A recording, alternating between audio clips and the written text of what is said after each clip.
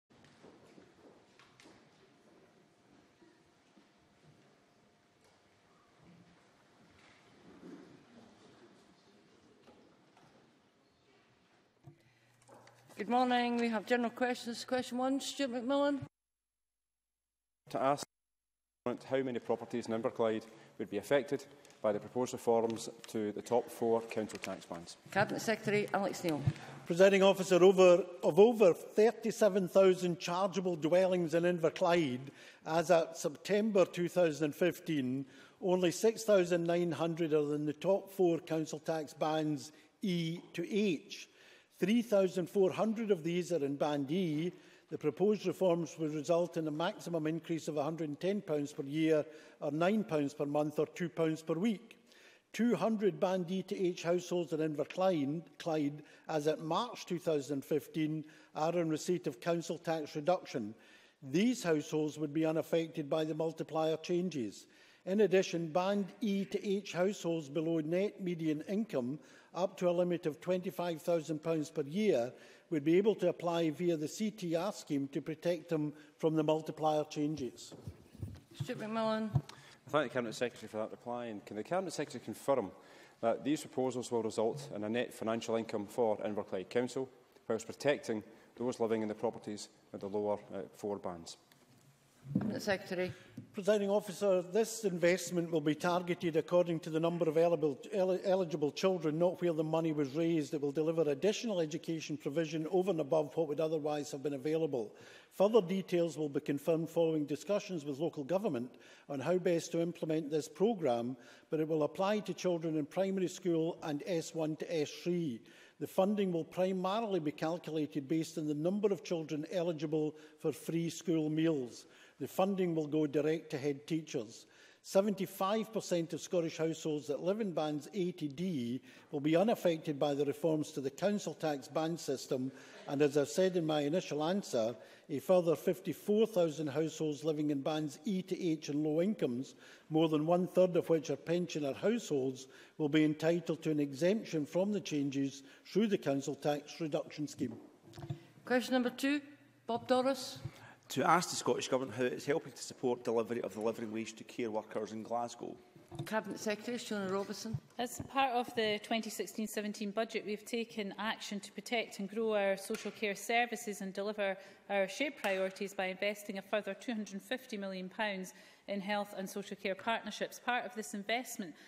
is to enable local authorities to pay a, a living wage to care workers, supporting uh, vulnerable adults, including in the independent and third sector. We've allocated £33.28 million pounds, uh, to Glasgow. Of this uh, significant enhancement in resource, we'd expect the local authority to utilise resources from their allocation to enable them to commission adult social care services on the basis that a living wage is being paid. Bob Doris. Uh, I think the cabinet thank the cabinet secretary for that answer. Uh, given the fact that the care sector is a female-dominated sector, does the cabinet secretary agree with me that this is also a gender equality issue in paying the living wage to care staff, and it will also raise the status of this very important sector? Can I finally ask how the Scottish Government will make sure that this commitment funded by the Scottish Government will be delivered by Glasgow City Council? Cabinet Secretary. Um, can I uh, agree with uh, Bob Doris? Um, the Scottish Government is committed to making uh, Scotland a fairer place for all. And I believe the allocation of this further investment in social care will enable local authorities to ensure our care workers, which, as Bob Doris said, many of whom are the vast majority of whom are women, receive the living wage. Um, in the, the city of Glasgow, we estimate that there are about 6,000 care workers who will benefit. Many of those are women, and across Scotland, around 40,000 uh, care workers. In terms of the work to take this forward, clearly we are working very closely with COSLA, um, uh, local government leaders and indeed third sector and independent sector organisations to ensure that the detail of the delivery of this is in place uh, for the, the 1st of October when uh, we are, this is due to be implemented. Question number three, Margaret McCulloch. to ask the Scottish Government what impact fracking would have on central Scotland. Minister Ferguson. Presiding officer, no fracking is permitted in Scotland as we have a moratorium on unconventional oil and gas developments. The Scottish Government will take no risks with Scotland's environment whilst unanswered questions remain about the potential impacts of unconventional oil and gas. One of the world's most comprehensive programmes of research into this technology is now underway, and we will also hold an extensive public consultation to let the people of Scotland have their say. This is the only approach which clearly and consistently promises to engage with the evidence and the public on this issue. Margaret McCullough.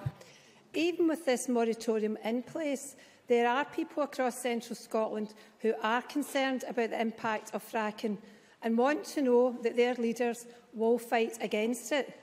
Yet Jim Radcliffe of INEOS has reportedly received assurances that the SNP government is not actually against fracking at all. He says the government are being quite clear. What they've said to us is they're not against fracking. For clarity, Has anyone acting on behalf of the Scottish Government ever given such an assurance? Minister. Absolutely not, Presiding Officer. The position is, I stated this week, last week, the week before, and it remains the same. The, the approach we've taken, unlike the approach of the Conservatives who've now arrived in the Chamber or the Labour Party, uh, we take a sensible approach where, where we look for the evidence. And let me just run through some of the areas where I think uh, it is absolutely correct that we are looking at the evidence, understanding and mitigating community level impacts from transportation, including in central Scotland, decommissioning site restoration and aftercare, understanding and monitoring induced seismic activity, climate change impacts, economic impacts and scenario development. All of these and more areas, presiding officer, are essential that we provide the evidence to stakeholders and the public. What could conceivably be wrong with that approach? Question number four, Mike McKenzie. To ask the Scottish Government what progress is being made with the duelling of the A9. Cabinet Secretary Keith Brown. Uh, construction of the A9 dueling began between King Craig to Dalradi in September 2015. Uh, the first section is expected to be completed by the summer of next year. The remaining dueling is on course to meet the Scottish Government's target of being completed by 2025. The design of remaining projects is progressing well, with one quarter of the preferred routes announced last week and the rest anticipated during 2016 and into early, uh, early 2017. Exhibitions are currently taking place where the route options are being displayed to the public for comment. Mike McKenzie. I thank the Cabinet Secretary for that answer. Does he agree with me that as well as creating and retaining jobs during the construction phases, the duelling of the A9 will provide a long-term stimulus to the economy of the Highlands and Islands, as well as improving safety for motorists? Minister. Uh, Mike McKenzie is absolutely right. This will have benefits in terms of its construction for employment and longer-term benefits in terms of increased productivity and more efficient transport system. The A9 plays a vital role in supporting the economy of Scotland and not just the Highlands and Islands, with an estimated £19 billion worth of goods transported annually. The journey time and reliability benefits associated with the dueling programme will reduce transport costs to business. It will also improve connectivity be between the Highlands and the Central Belt and provide opportunities for the key business sectors, including tourism. The upgrading of the road itself will also reduce driver stress and frustration and lead to improved safety for the 12 million vehicles per year that travel between Perth and Inverness. And I'm very pleased it's the Scottish Government that's made the first commitment to dual this road and the A96, which for the first time will mean that all Scotland's cities are connected by at least dual carriageway or motorway. Question number five, Claire Adamson. Thank you, Presiding Officer. To ask the Scottish Government what it is doing to support the steel industry. Minister, fair assuring. Uh, I chair the multi-agency Scottish Steel Task Force, which was convened immediately after Tata Steel's announcement that it planned to mothball its Scottish steel plants. The task force brings together the company, trades unions, local authorities, government agencies and local elected representatives. This task force is doing everything within the power of the Scottish Government and partners to support the continuation of Scotland's steel industry and a viable future for the steel plants at DL and Bridge.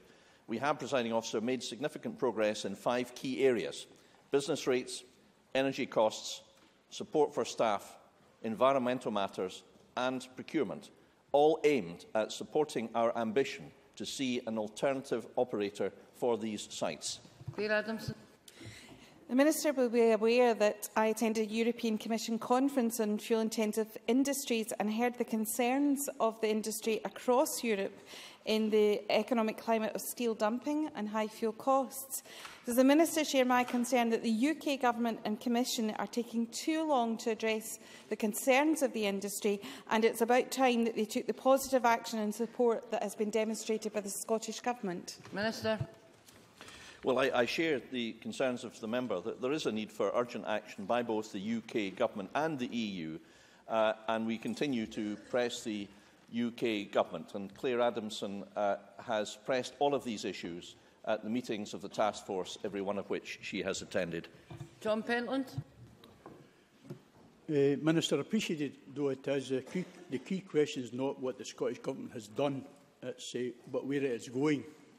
It is now over five months since Tata made their announcement, and for the workers, all that has happened is a phased decline with mothballing and support to help them get other jobs. This was not supposed to be the objective. So when will the Scottish Government look at Plan B to fulfil its guarantee of a future for Scottish steel by whatever means necessary? Minister. Well, Mr Pentland sits also on the, the task force. It's an, uh, a non-political body, presiding officer. and we have all been working together. Uh, and I'm not sure that I would accept the characterisation of the position that he said. For example, uh, several of the key workers necessary to restart the plant uh, are currently undertaking a skills course. Now, their skills are being preserved, presiding officer, precisely because there are not many people that know how to operate a steel plate mill. And if we had not instituted this pioneering scheme, where the key skills required to operate a plate mill. If we had not done that, it would simply not be practical to reopen the plant. Uh, and that has been done at the Scottish uh, Government's uh, behest and at the public taxpayers' expense. And secondly, our objective remains absolutely resolute. That is to find an alternative operator to take over to resume steel operations in Scotland. And as the First Minister undertook, we have left no stone unturned. That is uh, what we continue to do, uh, and uh, I, I'm sure that I will engage further next uh, Wednesday with Mr Pentland at the last meeting of the task force prior to Purda. Question number six, Richard Lyle. Thank you, President Officer, to ask the Scottish Government what it has done to protect the provision of speech and language therapy services. Cabinet Secretary, Shona Robertson. The provision of speech and language therapy services is managed by NHS boards and it's for individual boards to decide how best to deliver these services to meet the needs of the population. We've appointed an allied health professional national lead for children and young people who's working with NHS boards across Scotland to support the creation of a network of speech and language therapy leads uh, to enable a, a joined-up approach to service design and delivery and we've recently published Ready to Act, the first Children and Young People's Services Plan in Scotland, to focus on the support provided by AHPs, including speech and language therapists. Richard Lyle. Can I thank the Cabinet Secretary for her reply? The Scottish Government research has shown that people with unmet communication support needs are more likely to have negative interactions with the law. The Royal College of Speech and, the and Language Therapy has suggested that a speech and language therapy pilot programme could be launched in Scotland's criminal justice system. Although, although the government has no formal uh, commitments, are there any plans to make this programme a reality? Cabinet Secretary. I, Richard Lyle uh, raises um, some important issues. I mean, ready to Act recognises that communication difficulties can impact on vulnerable young people at risk of entering the criminal justice system and particularly highlights the importance of early intervention and prevention in seeking to identify and address behavioural issues caused by communication difficulties before they escalate. We are going to be working uh, collaboratively with the Royal College of Speech and Language Therapy as well as education and social care uh, colleagues on the implementation of Ready to Act and will consider with them how best to address this issue. Question 7, James Dornan. asked the Scottish Government, in light of the reported 12% increase in small business jobs in five years, what it is doing to ensure that this growth continues. Minister Fergus Ewing. Uh, Officer, the Scottish Government provides a supportive business environment offering a range of assistance, including the Small Business Bonus Scheme. This alone reduces or removes business rate for almost 100,000 premises, and delivers an estimated £174 million of savings in 2015-2016. Uh, ministers of the Scottish Government, presiding officer, have committed to continue the scheme for the whole duration of the next Parliament if re-elected. Jim Stirling. I thank the Minister for that answer. In the last three years, 77 Small and medium enterprises across my Cathcart constituency have increased their workforce. Can the Minister give me a, maybe a wee bit more detail, tell me what role he considers the aforementioned small business bonus scheme has had in achieving these results, not only in Cathcart, but also across Glasgow? Minister.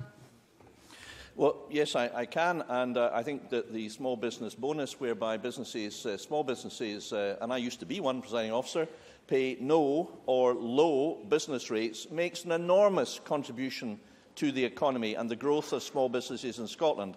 And to, to uh, answer Mr Dorner's question, official statistics show that over 9,000 business properties in Glasgow benefit from this scheme. That's why, if re-elected, we will keep it for the whole five years of the Parliament. And I do hope that other opposition parties will join in with that pledge so that it becomes beyond politics, but is something that's guaranteed for every small business in Scotland. That would be truly a great thing. Question number eight, Mary Fee. To ask the Scottish Government when it last met NHS Greater Glasgow and Clyde and what issues were discussed. Cabinet Secretary Shona Rob. Ministers and government officials regularly meet with representatives of all health boards, including NHS Greater Glasgow and Clyde, to discuss matters of importance to local people. Mary Fee. Can I thank the Cabinet Secretary for that answer? The Cabinet Secretary will be aware of the leaked report by Health Board officials showing proposals for major service changes at the REH in Paisley. One local mum, Karen Meikle, has described how important the REH children, Children's Ward is to her son, who has a severe form of cerebral palsy. She has said, every second counts when it comes to getting him treatment. Will the Cabinet Secretary give a cast-iron commitment to worried parents like Karen that if her government is re-elected, the RAH Children's Ward will be protected from closure or any downgrading whatsoever? Cabinet Secretary. Well, I can say to Mary, Mary Fee that we recognise that the paediatric service provided from Ward 15 at the RAH is a highly valued local service, um, but as the NHS Greater Glasgow and Clyde Chair John Brown has confirmed none of the contents of the, the paper which Mary Fee referred to have been approved by the board or referred to the Scottish Government for consideration. Obviously, any proposals for major service change, as Mary Fee uh, knows, would be subject to formal public consultation and ultimately require our approval, and we've received no such request. Question number nine, Neil Bibby. To ask the Scottish Government when the Cabinet Secretary for Health, Wellbeing and Sport last discussed the future of the children's uh, ward at the Royal Alexandra Hospital with NHS Greater Glasgow and Clyde. Cabinet Secretary, Shona Robertson. Well, we've not uh, discussed the future of the children's ward at the Royal Alexandra Hospital because, as the Chair of NHS Greater Glasgow and Clyde made clear in his statement on the 15th of January, there are no formal proposals to change the services delivered from the ward. Neil Bibby. It's a very interesting answer. You'll not discuss this important issue with the health board. Thousands of people in Paisley, Paisley like Karen Miko, have made it clear have made it clear they don't want to see any closure or downgrading of the RH children's ward. I am also clear that Scotland's largest town should have its own children's ward protected and not be subject to any closure or downgrading.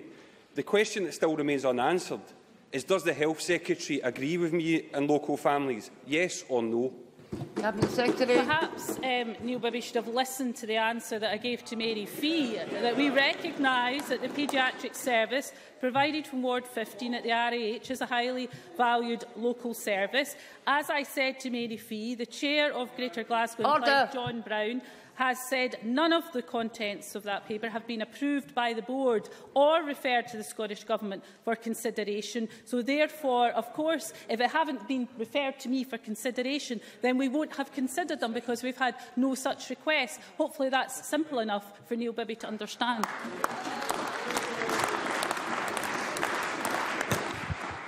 Before we move to the next item of business, members will wish to join me in